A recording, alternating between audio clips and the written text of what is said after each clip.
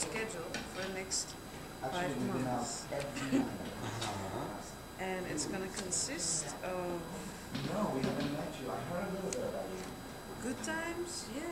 Very good. You're gonna be hanging out with a lot of very cool people. And you're gonna enjoy Did you guys work being together? What is your name? 27, 28, 29, you know, to the max. Uh-huh. What you're else? gonna you're gonna make beautiful things like like you uh, ideas that you don't know you have now, but you know they're gonna grow. So you're gonna make real nice pieces. Let's see.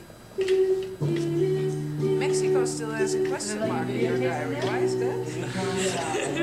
Well, it has to do all, with commitments commitments to what?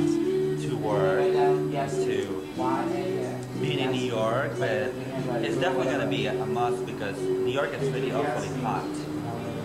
You know? It gets awfully hot around August and July, completely unbearable. So, sort of, you know. Wait, let me get a close up. Wait, uh,